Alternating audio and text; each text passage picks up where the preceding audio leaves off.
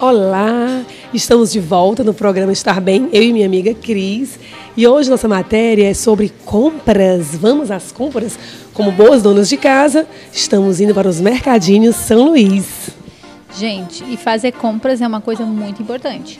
Então, o São Luís, junto com o Estar Bem, vai estar tá dando dicas, a Dani com a Fernandinha, vai ter umas matérias aqui no programa. Mas vamos falar um pouquinho sobre o Mercadinho São Luís. Dani, você mora aqui em Fortaleza desde. nasceu aqui, né? Você é cearense. Então, o que, que, você, que, que você diz assim do Mercadinho São Luís? Porque depois eu vou dar a minha opinião. Cris, eu amo os mercadinhos São Luís porque ele é pequeno, aconchegante, o atendimento é excelente e tem de tudo. Assim, no slogan, dele, no slogan deles fala, eu me acostumei com você, na verdade eu me acostumei com eles. Eu vou em qualquer outro supermercado, desculpa, tá? Mas eu me sinto perdida, principalmente aqueles grandes, enormes, eu fico desorientada. Porque você acaba comprando um monte de coisa que não precisa, e não compra, e não compra no que precisa. Então o Mercado de São Luís tem tudo que você precisa. E quando não tem, você vai lá no caixa e fala com o gerente, ou fala com as atendentes e diz, olha, faltou isso, que eles providenciam. E mais, no Mercadinho São Luís tem uns produtos assim, ah, coisas, barrinhas de cereais diferentes que não tem em qualquer lugar porque são mais caras.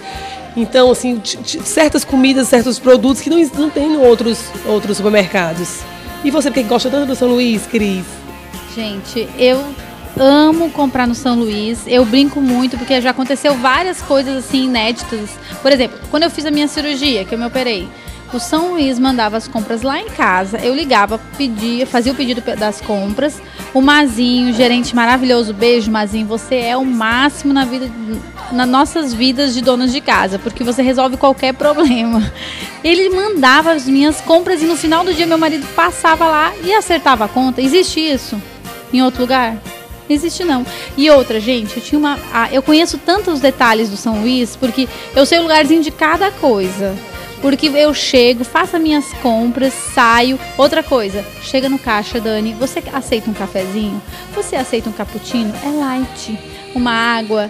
Olha, o tratamento é maravilhoso aqueles meninos de frente de loja, que educação, né, Dani? Eu fico impressionada. Então, quando a gente vai em outro lugar, lugar, a gente se sente realmente perdida. Não é que não seja bom em outros lugares, é porque o Mercadinho São Luís é o Mercadinho São Luís.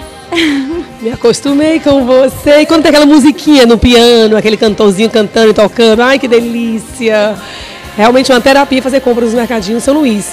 E nós vamos estar toda semana dando dicas Vamos fazer um prato diferente. Fernanda vai estar, tá, a Fernanda nutricionista do Beat Spa vai estar tá explicando pra gente aquele prato, o que produto usar, quais são os melhores produtos, que existem ketchups e ketchups, existem ketchups mais saudáveis, manteigas mais saudáveis, biscoitos. Então, você pode comer um recheado menos calórico. Isso a Fernanda vai estar tá mostrando lá dentro do Mercadinho São Luís pra gente. Uma vez por mês, a Fernanda, nutricionista do Beat Spa, vai estar nos dando dicas, receitas, quais são os melhores produtos que nós, devemos comprar dentro do Mercadinho São Luís.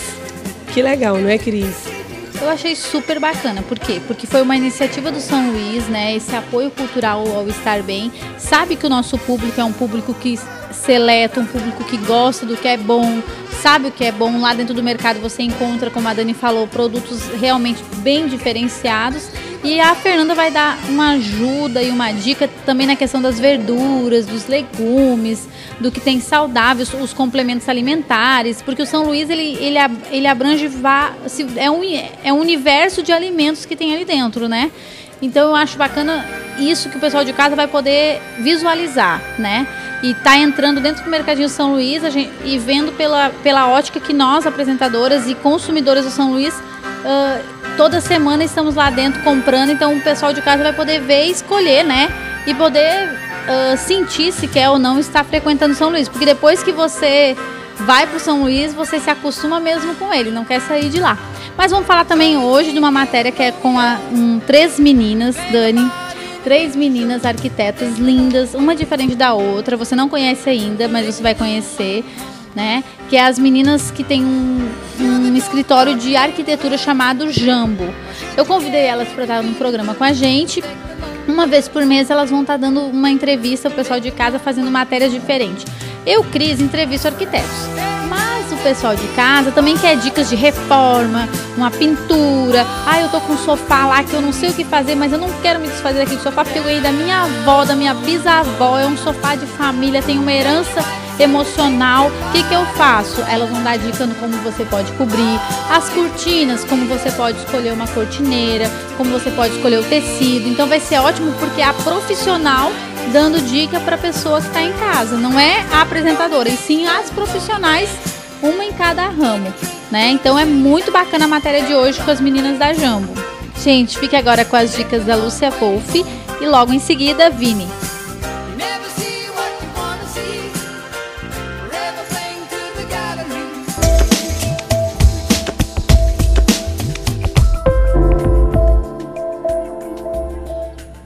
Bom dia! No programa de hoje, nós vamos falar, da, dar algumas dicas para vocês sobre o sentar à mesa no restaurante. A gente já veio, já foi conduzida pelo nosso companheiro e observamos que a mesa tem um guardanapo de tecido. Esse guardanapo deve ser colocado no colo de uma maneira natural, jamais como se fosse um lençol para nos cobrir. Depois, se você tiver uma necessidade, porque você sujou o seu dedo ou alguma coisa do gênero e tiver que ir ao toalete, deixo naturalmente esse guardanapo à direita né, do prato. No caso, o guardanapo serve para você limpar as bocas, nunca jamais para você enxugar o rosto ou fazer movimentos mais grosseiros. E se você vai embora, jamais deixe o guardanapo em cima da, da poltrona ou se você foi ao toalete também. Sempre à direita do prato de uma maneira natural. Tenha, fique atenta também, se esse guardanapo cai ao chão, ele já não lhe pertence mais. O guardanapo com certeza será substituído por outro e o próprio garçom ou maître vai ficar atento a lhe dar um guardanapo novo. Essas são as nossas dicas de hoje.